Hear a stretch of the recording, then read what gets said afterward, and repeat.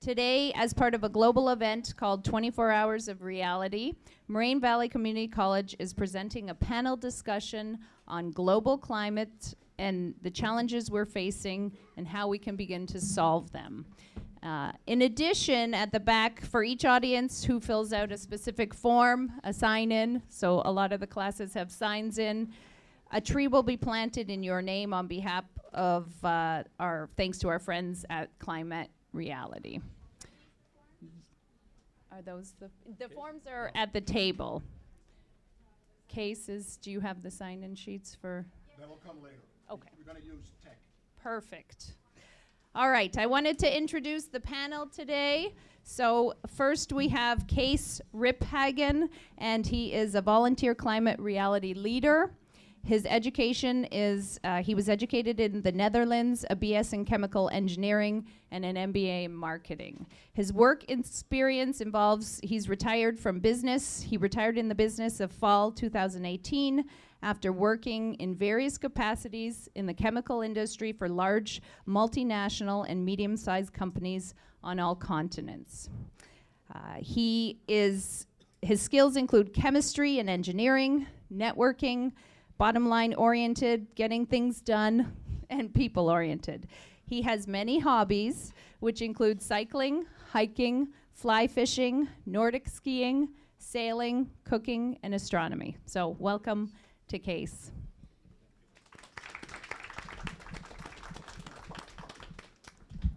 Our next speaker will be Jennifer Shepard, and she is a professor of earth and environmental science at Moraine Valley. She started here in 2003 as an adjunct, and she was a full timer since 2005. She has a master's in meteorology, climatology from the University of Georgia. She also has a BA in physical geography and an AS in applied meteorology from the University of Kentucky. Her work experience include aviation meteorology, she was a research assistant at Kentucky State climatologist intern at the National Weather Service Forecast Office in Louisville. So, welcome, Mrs. Shepard. And last but not least, we have uh, Mitchell Baker. He's a professor of psychology at Moraine Valley Community College.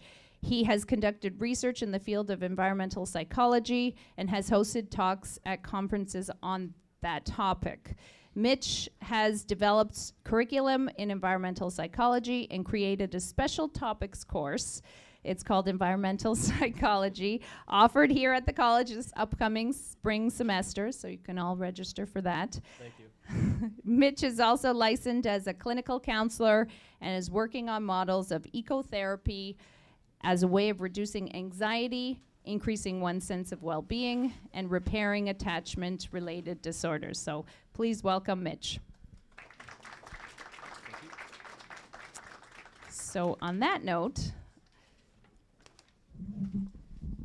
Am I gonna use my, am I gonna use my own microphone?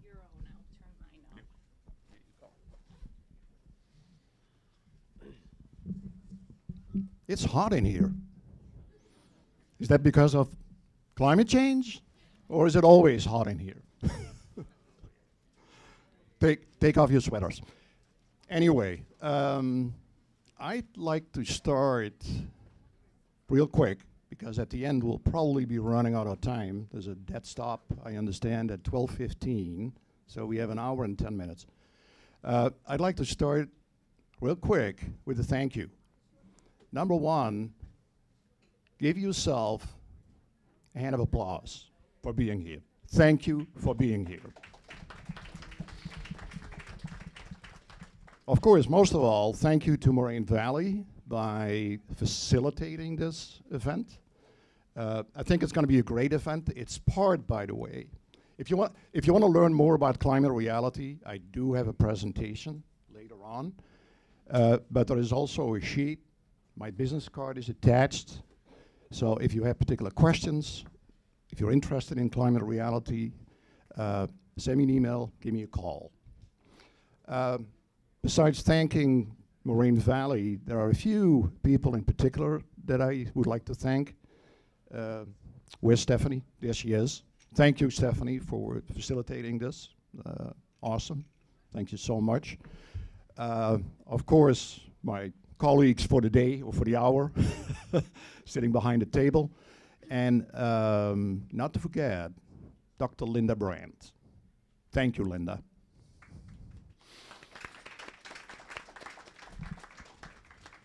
So here's my story. And, and the story is about really why I'm here. How did I, how did I get here? So this is how it happens.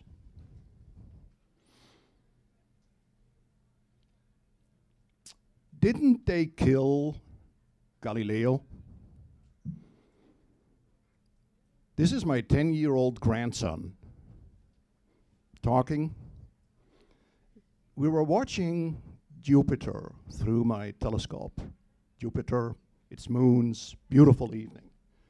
And very astutely, he made the comment Didn't they kill Galileo? And I said, Buddy, why do you say that? He said, Well, am I not right? And was Galileo not right? I said, Yes. I gotta, I gotta hold this really close. you know what? Here's what I'm gonna do. I said, Yes, you are right. They killed Galileo, and he was right. He observed that the Earth is not the center of our universe, but the Sun is. And he did that, as you all know, by studying Jupiter and its moons. And then he goes on and says, Are they going to kill the climate scientists? So this is a 10 year old talking, my grandson. It came out of the blue. And I said, Yes. Oh, I said, No. I certainly don't hope so. you might be right, there are people thinking that way, but we certainly have an analogy here between what Galileo observed and what happened to him. And some of the subjects revolving around climate change. Well, either way, this is the reason why I'm here. Made a big impact what he said. And I joined Climate Reality. Uh, I retired about a year ago, and I'm spending quite a bit of my time on the subject of climate change. It's one of the reasons why I'm here, and one of the reasons why 1,700 of my colleagues are giving presentations today worldwide on the subject over the next 24 hours. It's quite a big event. Um, I hope that that change in my outlook and my behavior, if you will, because of one single statement from a 10 year old is going to resonate and that you will pick up on this and also actively be and will be involved in the subject of climate change. Thank you.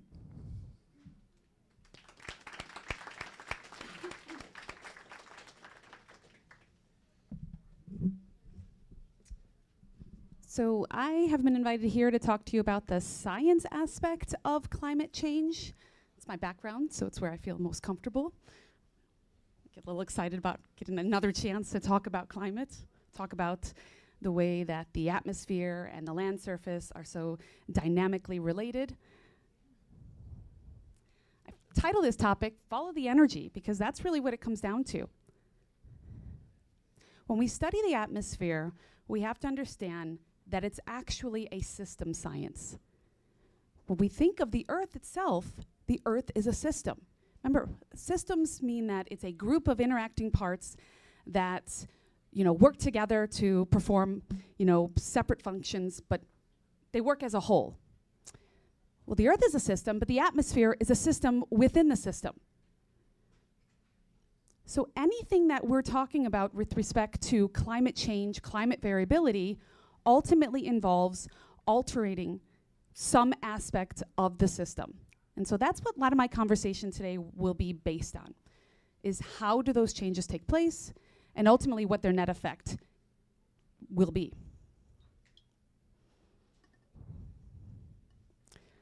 So when we talk about system science, particularly climate system science, there's a lot of conversation that's built around feedback mechanisms. There are positive feedbacks within systems, climate systems as well, and there'll be negative feedbacks. And the role of a climate scientist is to try to sort of keep up with what feedbacks will take place. What's the net result of an initial change? So when we talk about positive feedbacks, this is where there's been some initial change.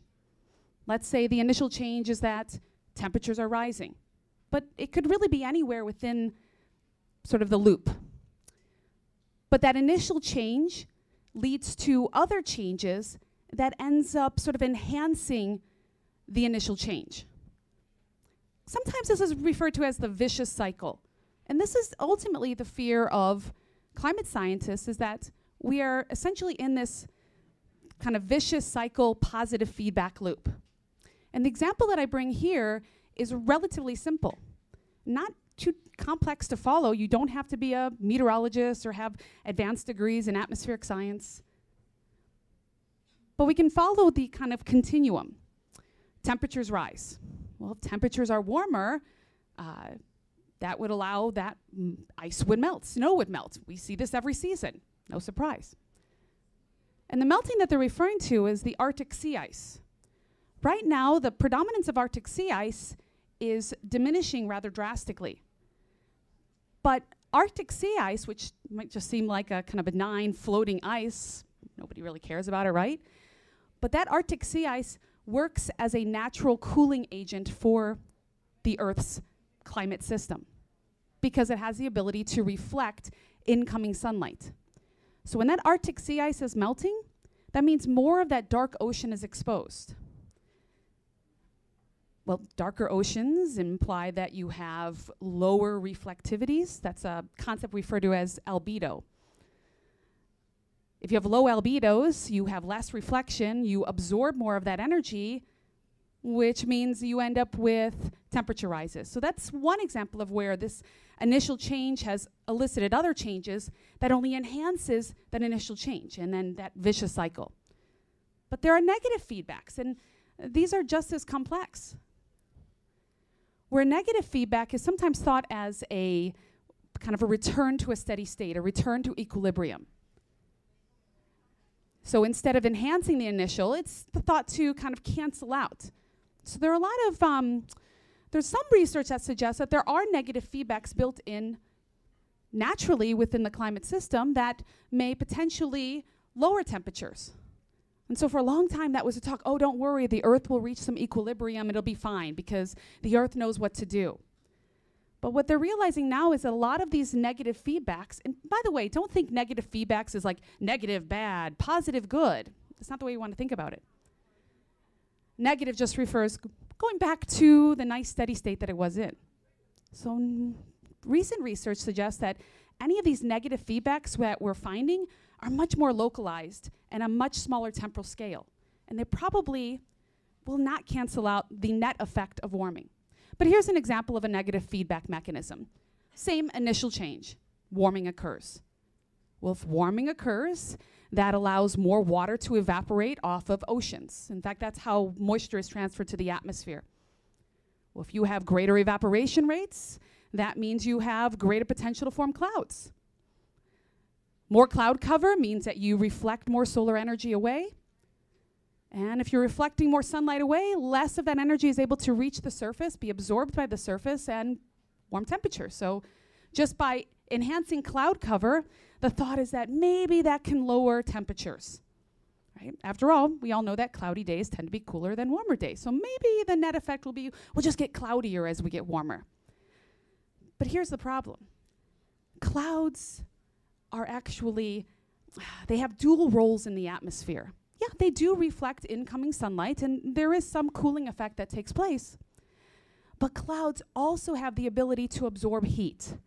And they absorb this infrared, these longer wavelengths, from aerosols in the atmosphere, uh, particulates that are out there, um, from heat given off by greenhouse gases, yeah, but in most particular, from the heat that the Earth's surface is constantly radiating out. So, yes, while there's maybe a dimming effect of cloud cover, there's more likely a more enhanced warming because of the long wave energy fluxes that essentially trap the heat. Kind of like having a blanket on you at night, you get really hot. What do you do? You remove that blanket off and you cool down. But if we end up with greater amounts of cloud cover, we just maybe end up trapping most of that long wave heat from the Earth. Of course, there's no good talk about climate unless we involve how the carbon cycle works. And I'm not going to get into too much detail. I recommend that you take an earth or natural science class again, if you haven't already. but the idea is that, you know, the carbon cycle is a natural cycle that involves an uptake of carbon and a kind of a, a release of carbon. And it's a, you know, it's a natural cycle that we've probably have adjusted. that would be an understatement. So once again, this is a follow the flow of energy. If we're disrupting the flow of carbon, adding too much, or without the necessary kind of um, withdraw, then we're going to have a net kind of warming effect. Because it turns out that carbon, particularly in carbon dioxide form, is a powerful greenhouse gas, which means that it does not absorb sunlight. That's one big misconception that Greenhouse gases absorb solar energy. They do not. They absorb long wave heat energy.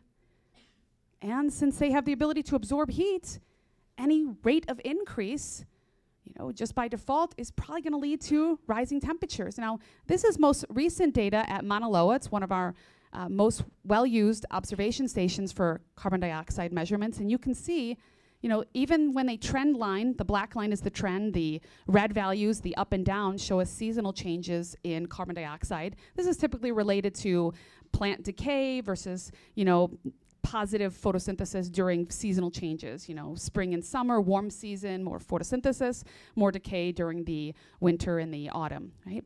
But over trend lines, if you see that black trend line, you can see, wow, that is an incredible rate of increase.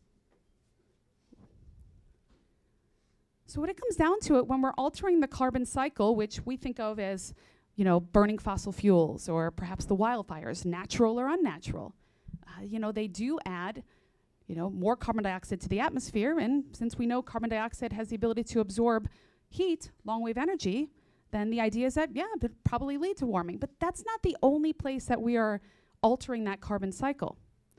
You know, there's lots of research going on into what's going on with the world's oceans, um, particularly of the phytoplankton that have very similar um, photosynthesis capabilities of taking in carbon dioxide. Um, how healthy are our forests? You know, what are we doing with land use changes and how do they impact sensible heat exchanges? I kind of gather this all under the title of anthropogenic disruption, so man-made disruptions. Right? So we already understand that greenhouse gases, we talk about carbon dioxide as one, but there are numerous others methane, nitrous oxides, but even water vapor is a greenhouse gas. And there's a great deal added by fossil fuel combustion, but we also have to imagine that, you know, this change in the flux of carbon dioxide is also related to land use changes. When we remove vegetation, we remove the ability for the Earth's surface to store that carbon dioxide, right? when we do this for whether it's for agricultural industry or you know urbanization uh, talk about you know the expanding of ex expanding strip malls over the suburban area i mean that all removes vegetation. And that's where our carbon needs to go. We all love forests. If you don't if you haven't been in a forest lately you should go to one. And you should thank your forest. You should you should hug your trees. Because forests have a net cooling effect on climate. And we're not just clear cutting in the Amazon and, and you know, in parts of the Congo basin. You know, there's clear cutting and logging activities that are constantly removing forest cover in North America. And I, I like this graphic because it shows us how tropical forests, that would be low latitude, equatorward forest, temperate forest, which is us, and then even the boreal taiga style forest, they all absorb incoming sunlight. They all absorb you know, carbon dioxide from the atmosphere. They're the carbon dioxide sink. They release oxygen, of course, and they also cool. They cool by evaporation, they cool by transpiration. And even when there's weak cooling effect, there's still a cooling effect that takes place. The other reason we need to be concerned about how we're managing our land use is that not only does it remove water from the atmosphere, um, but it disrupts the flow of water. You know, and we talk about heating the atmosphere, but climate change involves just not changing temperatures, but climate change is altering, you know, landscapes and ultimately their climate patterns. Uh, what's, you know, what could possibly grow there, and not grow there anymore? Uh, changing of growing seasons, which ultimately impact agricultural lands. So when you remove forests, forests transpire a great deal of moisture back to the atmosphere. In fact, in rainforest areas, we say that forests actually, oh, they recycle their own precipitation. We can't say that about where we are. We have to get our moisture from typically the Gulf. So when we remove these, you know, really wet sources, we ultimately lead to desertification. E- Even on a smaller, more mild scale, we end up with a drier, hotter surface. But also remember that forests actually allow water to effectively infiltrate, that seep into the ground to recharge our groundwater supplies. This is the groundwater that most of the world uses.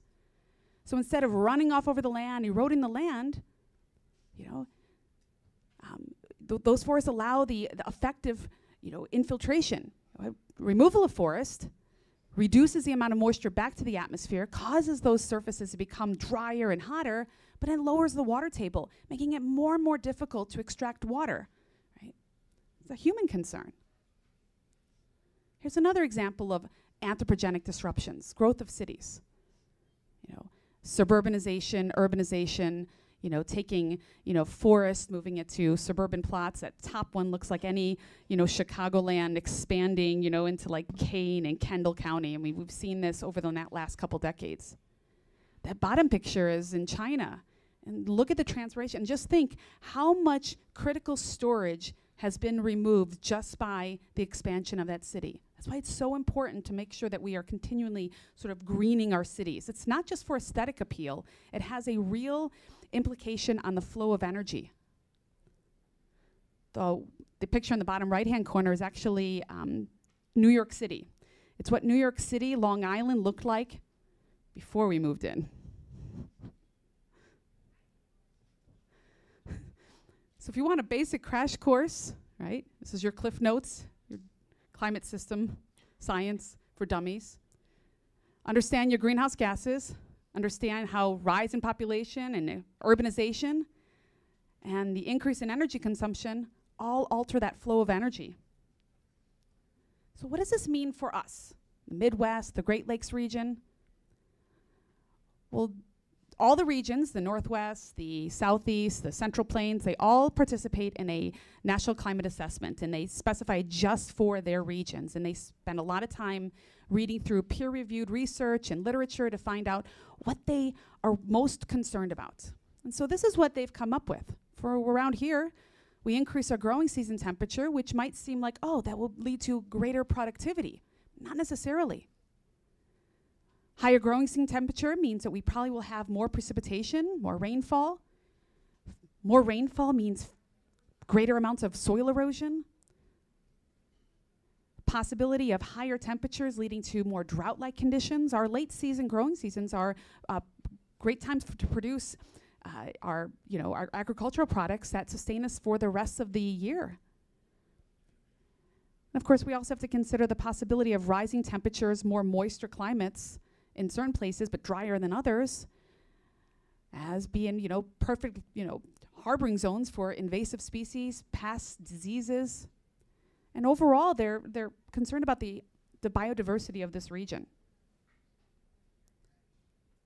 I would say the most alarming thing that may be occurring, which, um, which I am going to spend more time researching this independently, is the moderating effect of our Great Lakes is diminishing. So one of the great things about living in this region is that, yeah, we are more of a continental location, so uh, we have more extremes in temperatures, both, you know, warm season temperatures and cold season temperatures. But you know, living along the Great Lakes allows us to have a more temperate climate. because water kind of moderates everything. It keeps us a little bit cooler near the lake during the summer months, but a little bit warmer than let's say your you know Dakota counterparts during the winter. So there's this net kind of moderating effect. But the problem is we're noticing that ice cover uh, is changing, and surface temperatures of the Great Lakes are warming at pretty alarming rates. And so that natural moderating effect that we get in our region, uh, which you know impacts our growing season, impacts our industry and transportation, um, it's changing. So that's all I have in terms of the science. I will um, give you a slight caveat. In order to talk about climate science, I would need a whole semester, and I probably wouldn't really gather all that information. So I've abridged this tremendously. So there are so many more facets of climate and the flow of energy that I could have delved into, but in the effort of time, I haven't. Um, so just keep that in mind. I'm, I'm, I'm taking just a, a, small niblet of what's going on in the atmosphere surface interface. All right. I'm going to pass it over to Mitch now.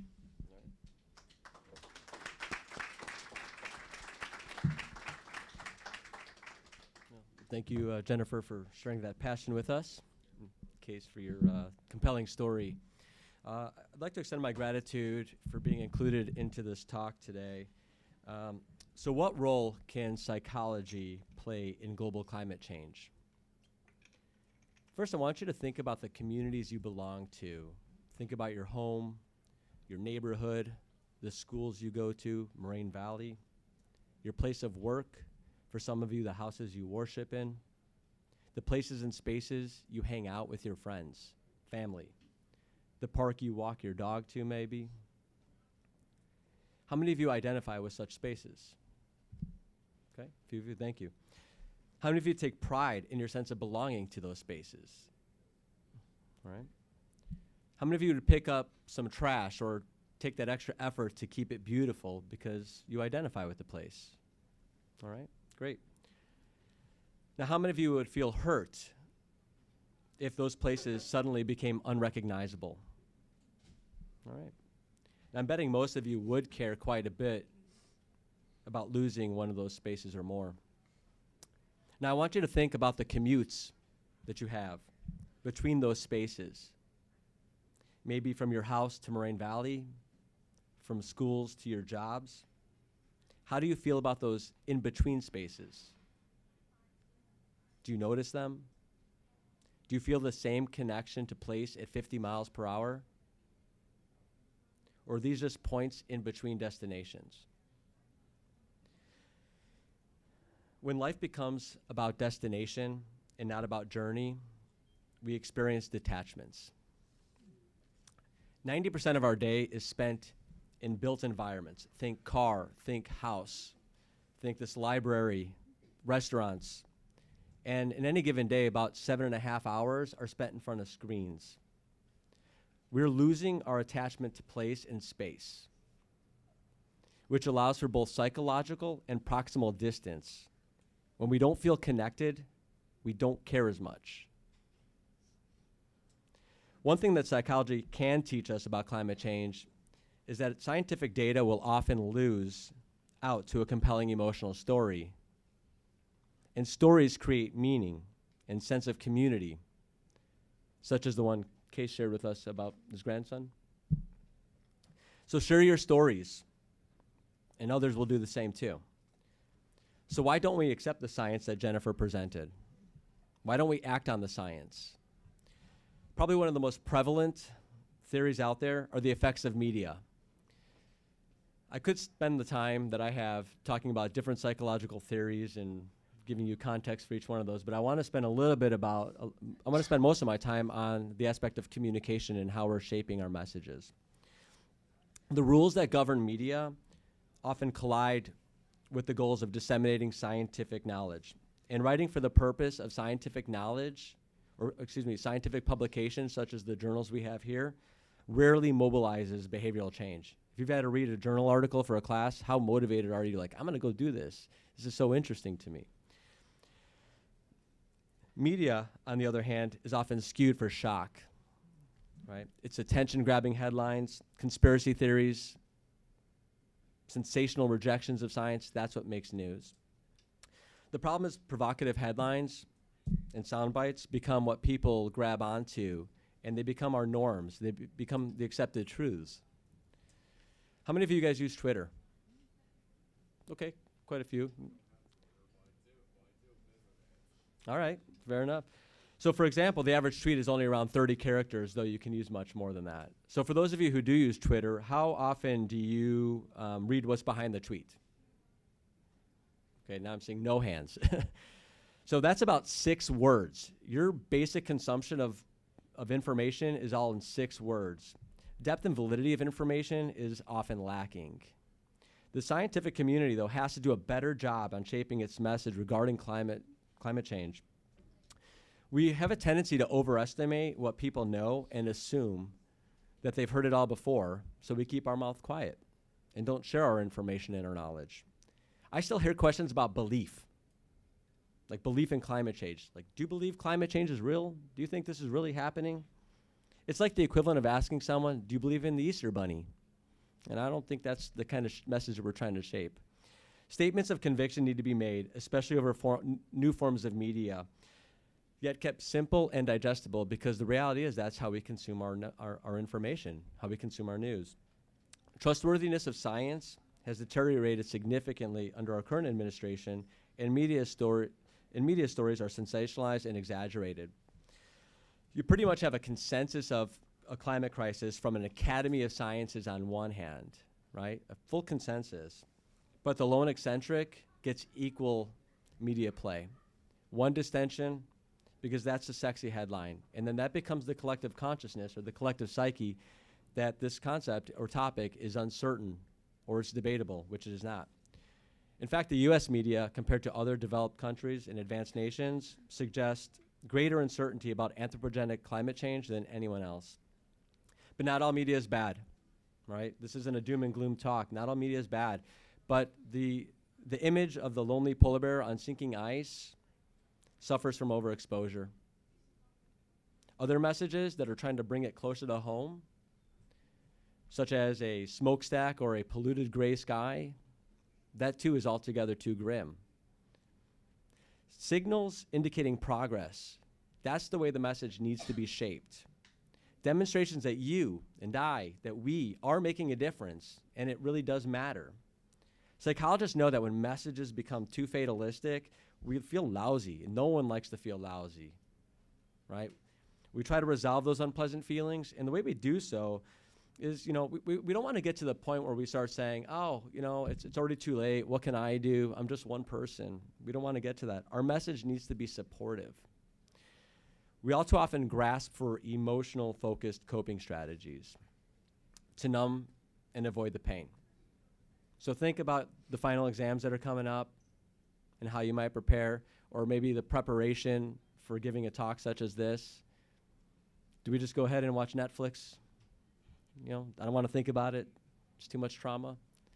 Or do we go ahead and study or do some research to present the information and prepare and bring about the actual desired behavioral change that we're shooting for? Uh, there's a gentleman by Dan, uh, the name of Dan Gilbert who's best known for the psychology of happiness, and he says that people tend to respond strongly to four triggers, and he dubbed this as pain. So P A N P A I N P A I N. Excuse me. So we respond to pain, and the P stands for personal. So how we need to do this is we need to make the message more personal. Many of us are not impacted directly. We don't have droughts or wildfires here in Chicago and the images and animals that we'll never see, it's very difficult to connect to. We need to share about the flooding that we're experiencing in our own communities as we're clear cutting uh, locations and expanding the malls. The other thing is abrupt. The A stands for abrupt. We're not hardwired to notice slow moving threats or changes. Think of that relative, maybe with Thanksgiving coming up, the relative you rarely see who says, Oh my gosh, you look so different. You've changed so much. Of course, you haven't seen me in a year. Quite a few things have changed. But the people you see daily never make such comments. If anyone's familiar with uh, the psychologist Dan Simons, he did some research on attention. And if, if you haven't seen, I don't want to spoil it for you, but maybe it's an interesting Google search. But he wanted to he demonstrated how people don't pay attention to uh, non-salient things, not obvious things. So he had, so go ahead and look for it. Count the uh, number of passes in a basketball game and see if you see some interesting things or are able to pick those up. So I don't want to spoil it for you. The other part is immoral, the A's for immoral. We are, however, hardwired to respond to repulsive things. But many of us would not categorize our commute to work, the airplanes we travel in for vacations, the hamburger we're going to have for lunch, on the single use paper plate, drinking from the single use solo cup, as immoral. In fact, many of us have social support and validation from our networks that this is the appropriate thing to do. Maybe you have cloth napkins in your home and you're not using paper towels, and everyone's looking at you. Why don't you have like cloth? Why, why do you have cloth napkins? That's such a hassle. We, you know, we need to start to change social norms. When we are doing so, I mean, we have refill stations here on campus. We have the Impossible Burger, right? Beyond Burger, Beyond Meat, all that stuff. It's a good brand. Just go try it. The Oh, sure. All right. Fair enough. Now, we are a future oriented group of people here, and we believe in our exponential ability to solve the climate crisis through science and technology to terraform the planet back to a place where we want to, that we're proud to call home. But when the threat is all too often considered to be ambiguous, uh, it's very difficult to achieve. The problem with the, the way we shape messages today, according to Gilbert, is that climate change does not have any of these attributes. None of these exist within the problem of climate change. It's hard to see. People are aware of the problem, but reluctant to lower their standard of living. And Nobel Prize winner Dan Daniel Kahneman says that climate change is the perfect problem because it's not obvious. It requires us to accept short term losses, which people do not like to do. And it's uncertain as it's presented in the media, right? When you have equal, equal airtime but an unequal voice, perception becomes reality. Rhetorically, does it matter in the end if people change their beliefs about causes of climate change as long as they adapt or adopt more sensible, sustainable, pro environmental behaviors? I'll close with this. Don't be afraid to be a leader and use the power of influence next time when you're Instagramming a picture of your latte art. I'll do so in a mug, a reusable mug instead of a single use cup, and let everyone know that that's the way you prefer it. Social norms change by actions started by individuals. Eventually, you'll find a first follower and start a movement.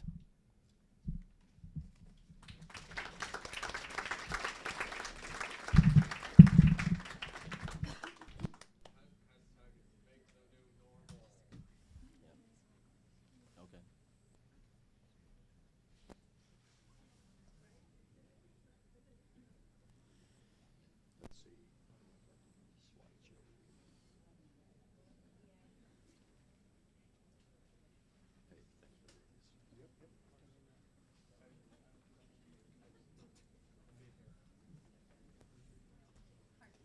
Great. I'm back. Uh, Thank you, Jennifer. Thanks, Mitch. Uh, Great, great subjects, great points. On the point of the Impossible Burger, who would have thought just like two years ago that Burger King would have such a product? It's amazing. That's true. Can you hear me now? Can you hear me better? Uh, although I'm, I'm quite sure that you got what I just said, so I'm not going to repeat it. Um, my presentation is focused on one word, and that's change. And you will see that in a minute. And it's about the question must we change? Can we change? And will we change? And particularly that last chapter, I'm going to spend most of my time on that last chapter, that last question.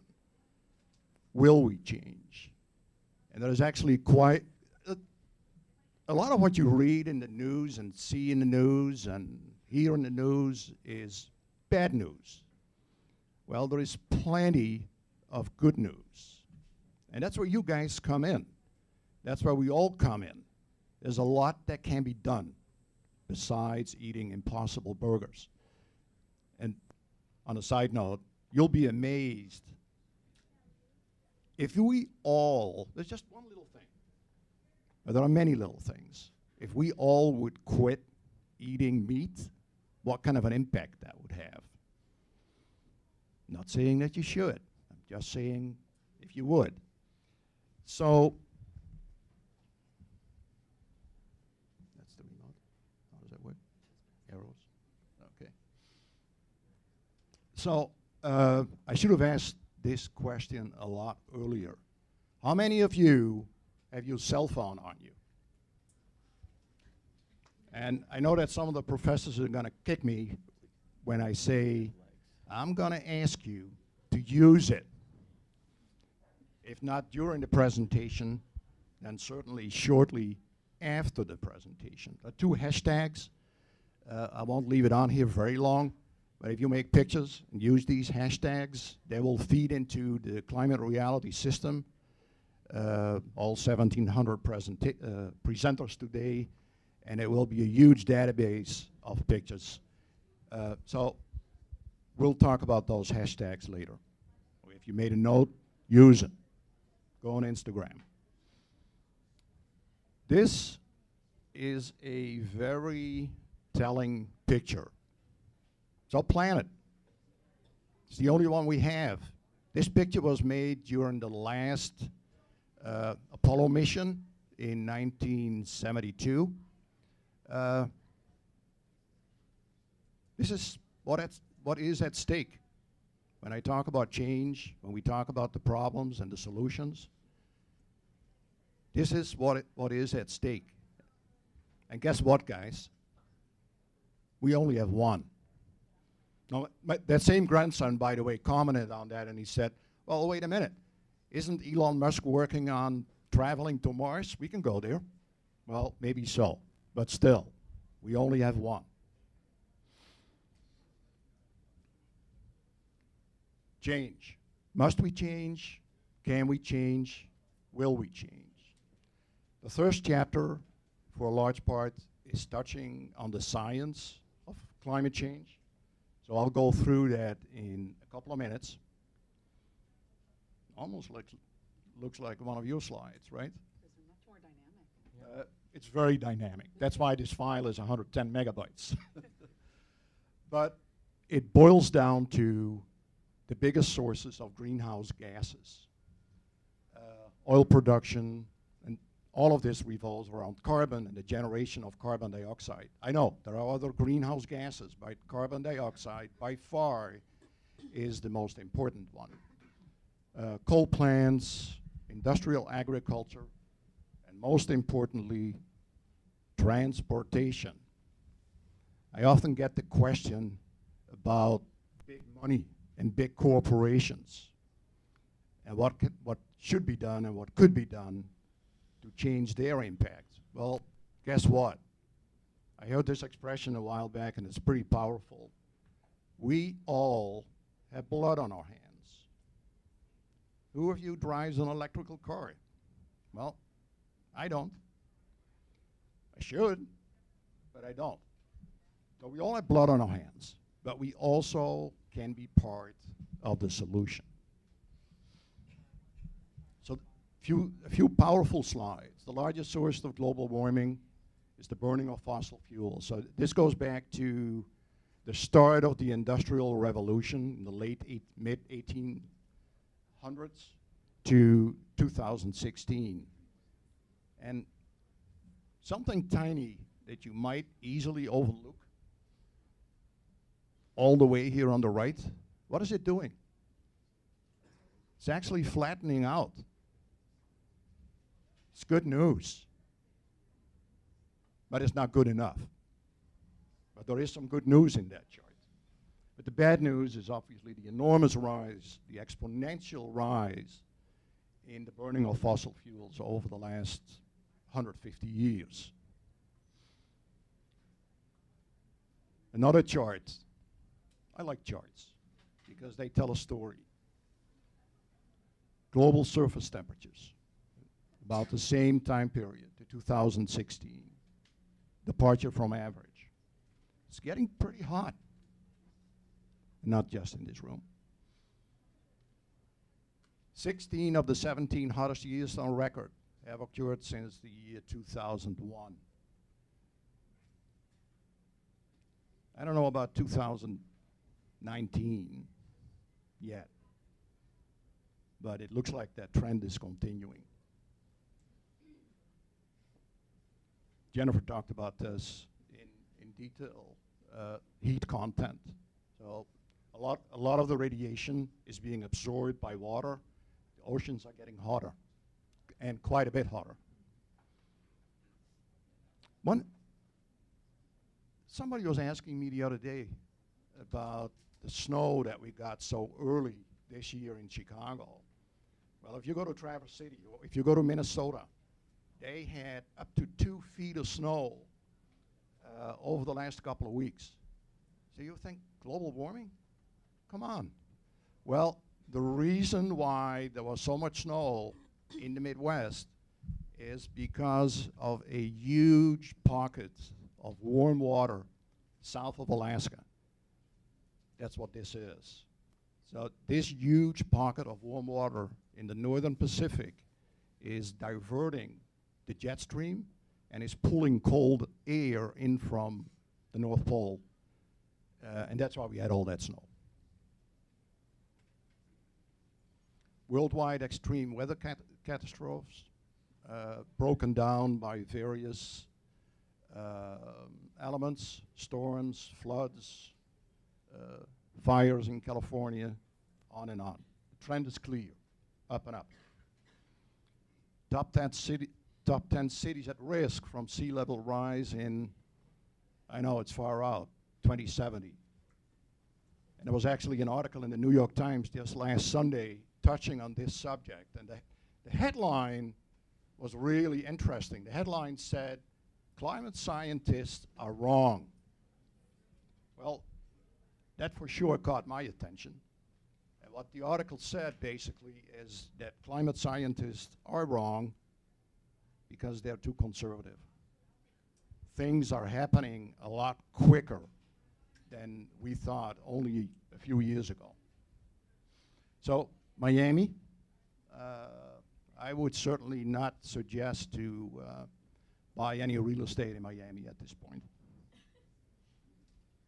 or in Calcutta. So the cost of carbon, all kind of different issues.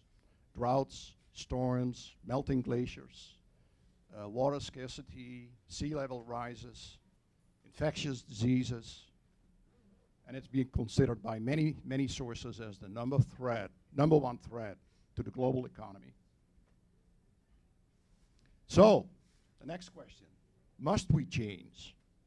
The answer is a resounding yes. We must change. And here's the million dollar question Can we change?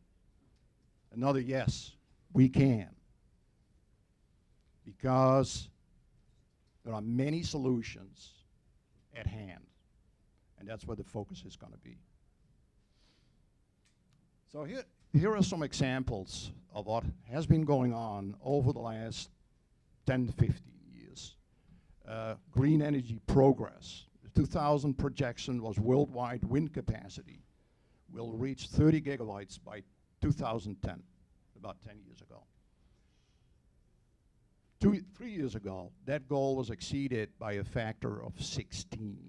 So the growth, if you drive through Indiana or Illinois, you see all the windmills, a lot of them. That's where this is coming from.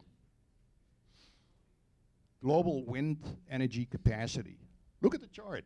Look, look at the exponential growth just over the last 10 years of wind energy installed. It's enormous. Uh, global wind could supply worldwide electricity consumption 40 times over.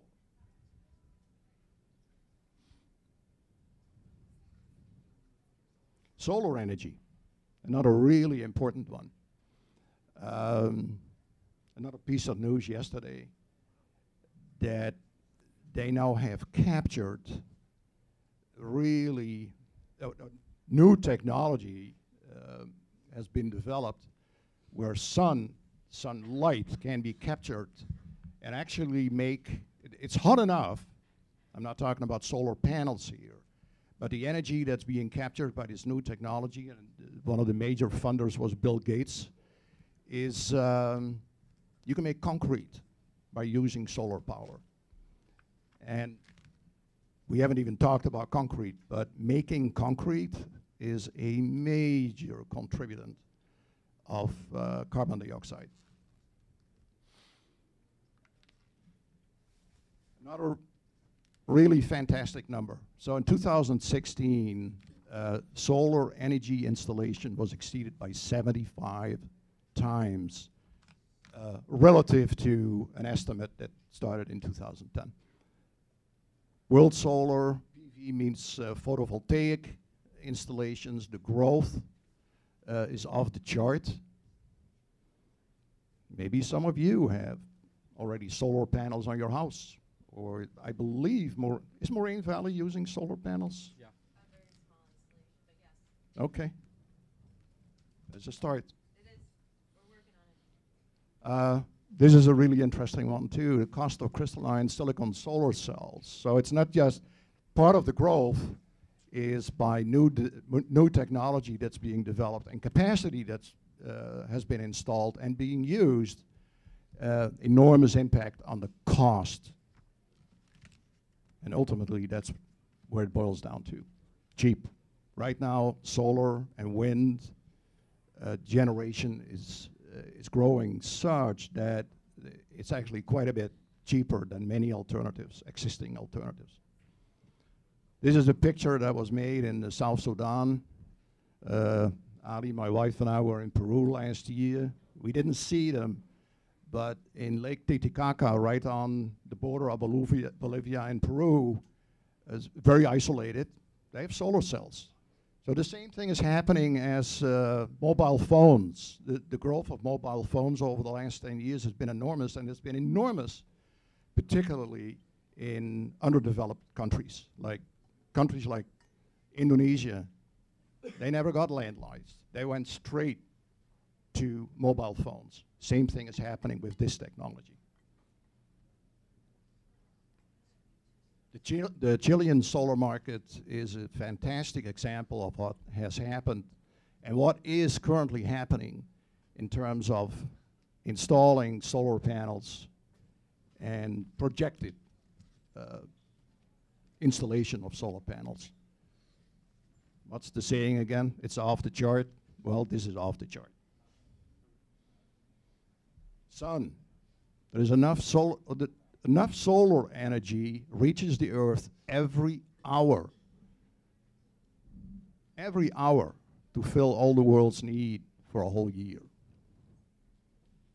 Amazing numbers. Uh, an another important factor is storage, uh, storage of energy. Uh, again, Elon Musk. Uh, um, I don't have stock in his company, but I should. Uh, it's an, ama an, amazing guy. Um, one of the things that he's working on really, really hard, the storage of electricity. LED lights, it's interesting, we're from Europe and in, in, in Europe, incandescent lights by law were banned about 10 years ago. All of Europe. Uh, the US is still working on it.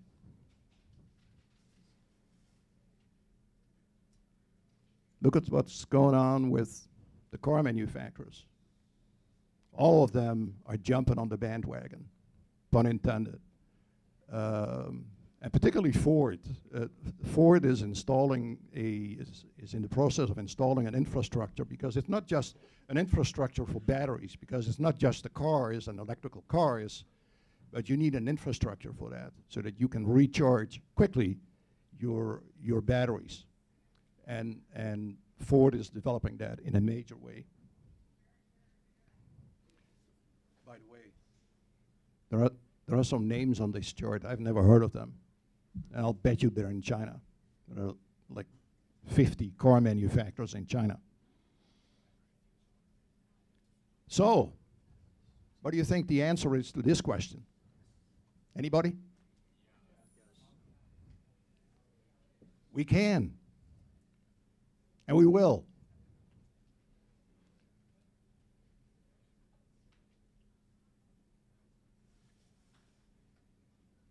Everybody heard of the Paris Agreement?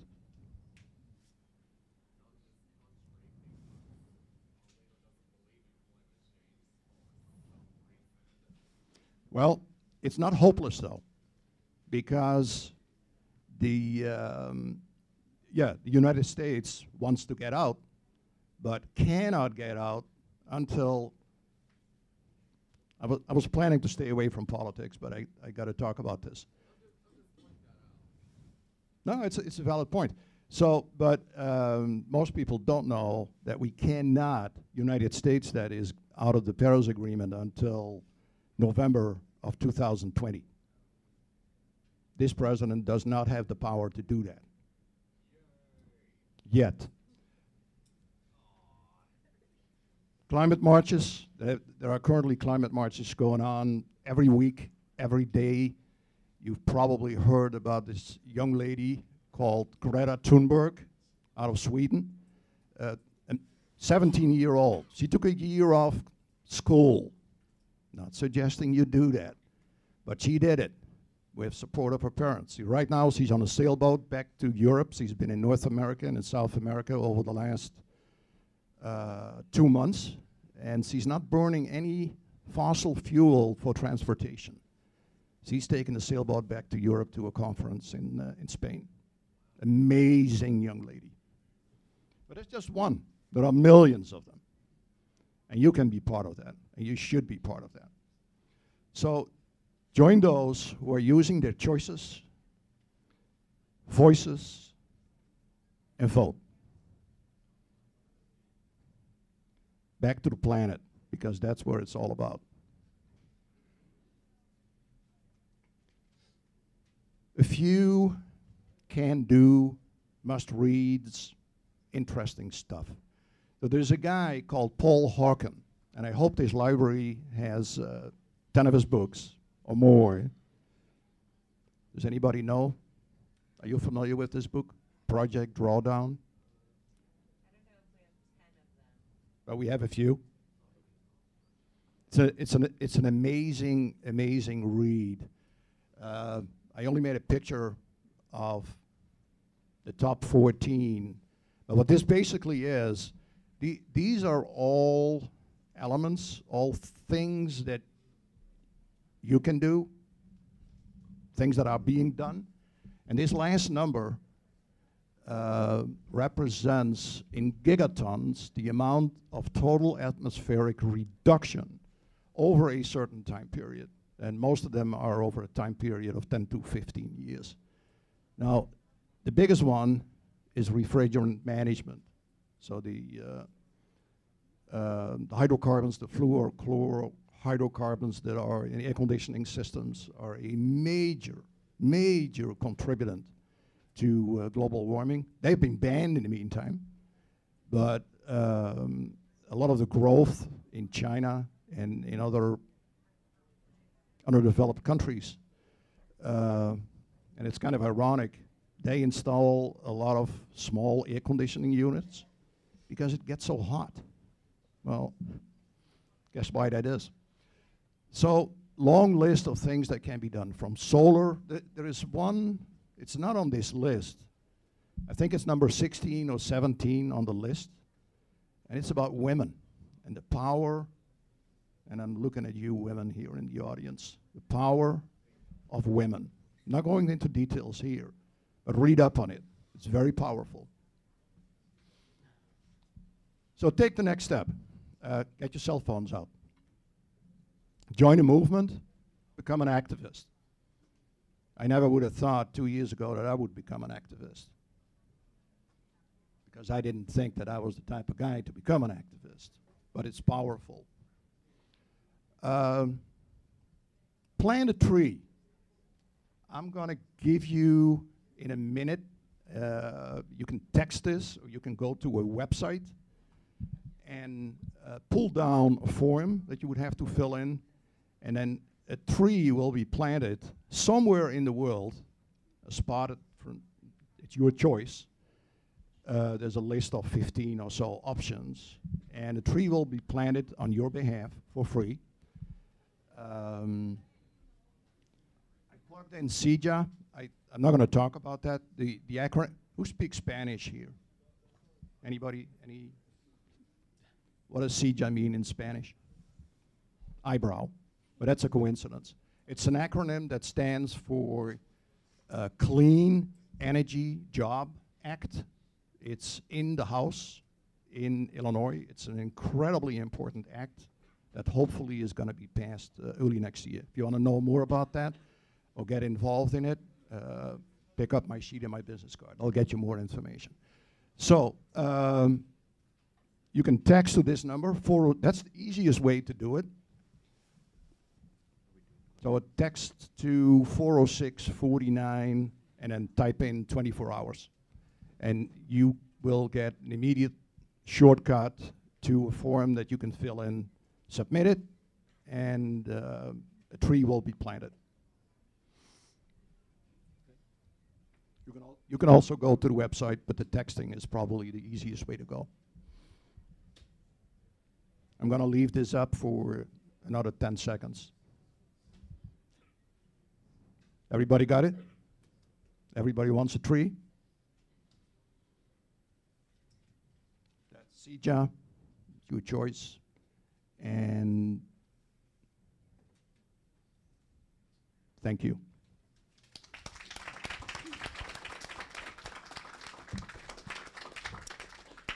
Thank you very much to our three wonderful speakers here.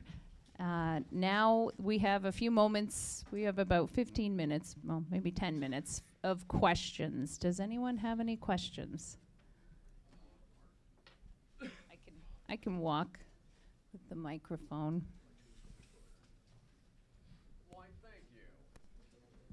Better question is, where can we sign a CJOT? Where can you sign? So where can we, did you say, see, where can they sign? Sign the C, sign the CJOT more specifically. Just put it up there.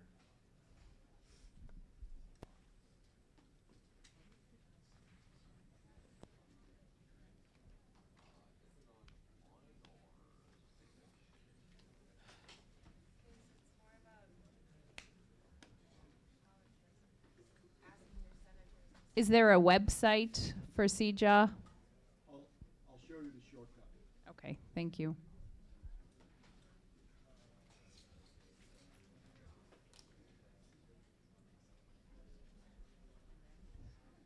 Are there any other questions while we wait? Don't be shy. I need some tech help here. Thanks, Troy. Yeah, I didn't expect the question. That's fine. We have another question. Hello. Uh, as uh, I believe in climate change, but I uh, adamantly disagree with you, and I appreciate you guys coming here. I think it's really important hearing opposing viewpoints. Uh, as my question is, you guys seem very adamant on acknowledging the science of climate change. I was just wondering, uh, why is it that people seem so adamant on ignoring climate or the sciences and other topics such as like abortion, transgenderism? I was wondering if you guys just like touch light on that and why people seem to be like that. Well, psychologically, the same principles apply. We have confirmation biases. Uh, we don't like our identities attacked. We seek out information that confirms what we believe. Uh, we tend to ignore others. Uh, so, so psychologically speaking, the same principles that apply why we would ignore the science of climate change would be the same reasons why we ignore any other sciences um, that run counter to our beliefs and values. Thank you. Any other questions?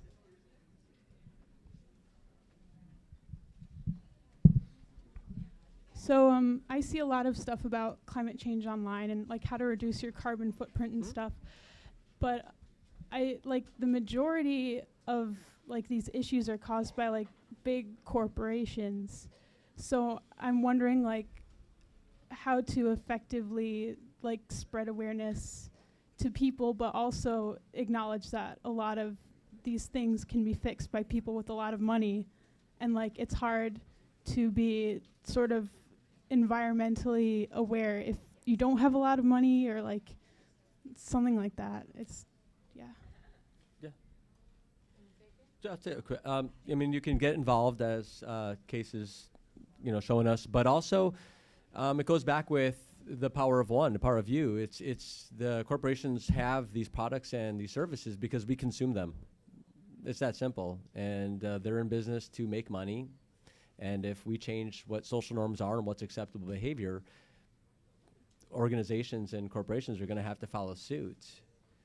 And as long as we, uh, you know, it, it goes to the point again of, of changing social norms and what's acceptable and making um, pro-environmental, sustainable choices the the norm.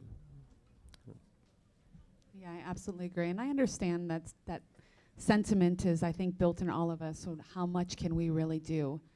Um, and I think I'll go with Mitch's point. I think it's sort of the, oh, it's a collectivism of all of us. You know, the the small things that we do, whether it's you know refusing to take that, you know, plastic water bottle at the gathering at our families. It's the you know what I'll carpool with people. It's are there smaller things and no they don't have a measurable effect individually but it is changing the way that we approach energy and no nothing happens overnight but perhaps in 5 or a decade it might be interesting to see how those numbers that case put up change by just slowly and deliberately adjusting our behavior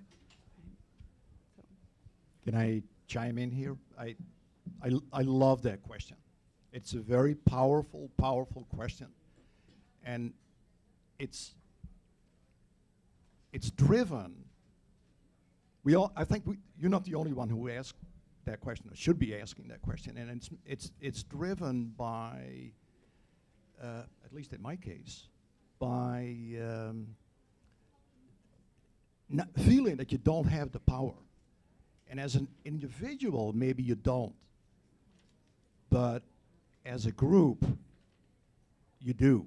And I, I like to make the analogy with an oil tanker. So changing the direction, pun intended, by the way, changing the direction of a massive ship like an oil tanker is very time consuming. Uh, but it will happen as long as you keep pushing. And that's where it boils down to.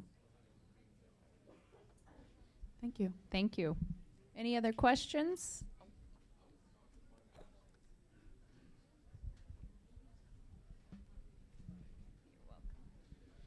So, don't you think that we should focus on the measurable changes more than like at the level that we are right now? Like, we should push the government to do more for us because this is basically not our fault. Just like she said, it's like the culprits' mistakes mostly. Could you rephrase your question a little bit so Uh, I have a better understanding? Yes, I'm saying sh- shouldn't we focus on the measurable changes more than like we should like the basic focus should be on the corporations and through the government uh, should force these new laws for the to save the environment. I would suggest that that's absolutely what we should be doing. If we want to see change, it's got to start first at the local level, and then it's got to push through, you know, the national level. And yeah, reaching out to your, you know, your political advocates is where it has to start. Um, it has to be a movement. Yeah, I, you know, to the point is that you, it really is a grassroots thing. You know, it's the oppor- you know, the the income disparities are they're just not there. So the resources individuals have are it's difficult to change a corporation's mind. But if you start, I, I, I believe that the, in the power of the individual. I think you can, as an individual, absolutely make a change. You have to realize that other people are watching you. You're social influencing too. You are sometimes the smartest person in the room. And you need to act upon that and not conform. Oh, everyone's doing this, so I'm just going to do it too because it's easy. There's a lot of inertia in doing nothing. And that needs to break and that needs to stop. And that comes with mindfulness, being aware of what we're doing in each moment, being okay with the fact that what we're going to engage in is slightly different. It might be looked at a little differently, but over time, it will become the norm. It will become the behaviors. And that's the only way this is going to happen on a positive with, with a positive ending. You know, so I mean, don't we have to really avoid uh, excusing our own behavior away because everyone else is doing it. So that that would be my suggestion. Start at the grassroots. Start in your own community. Yes, thank you. Okay. I'm of the belief that um, maybe that wouldn't the best way to that I believe that the best situation is to cause a huge inconvenience, just because I feel like most social change has been achieved that way. Like labor laws have been, hey, let's actively just not, just n- stop doing our work and cause a huge inconvenience, and then we have labor law changes. So, so the civil rights movement, like the March on Washington wasn't a ticker tape parade, it was causing active disrupt disruptance. Would that be sort of the best way to achieve this massive change that we sort of need? Just huge inconveniences. Like it sucks, but like I feel like that's the way we have to go about it. I, I love the way you frame this. Uh, climate reality, uh, I didn't show the slide, but there is a great movie. It's called An Inconvenient Truth, and and book with the same title. Uh, some of you might seen it, might have seen it. Some of you might have read it. Uh, but I but I, I love the analogy with civil movements, e- even the Civil War, if you will uh, the labor movements, uh, women's votes, uh, long, long list. And it's all because you and me made that change, changing laws. Uh, It's not even like it's just like, and like again, it's not even like part of the grassroots thing involves just causing a stir of some kind, you know, and it doesn't have to be pleasant. It can come up in the form of all kinds of not great things, but at the same time, that's sort of the best impetus. Like, just cause a stir. But I'm not sure if that's something that people want to accept, you know? Like, what if like our march what if our marches block traffic and it's like again, March on Washington, not a ticker tape parade. That's well, it's going to be interesting to see how what's going on currently in Hong Kong, how that's going to end. And I think that's a perfect example of what you are alluding to. Organized disruption, you know, choosing kindness, you know, keeping uh, people safe. Uh, y- y- yeah, those are all uh, things that mobilize change. Are there any other questions?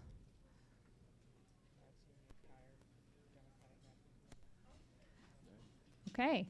Well, once again, thank you so much for our panel.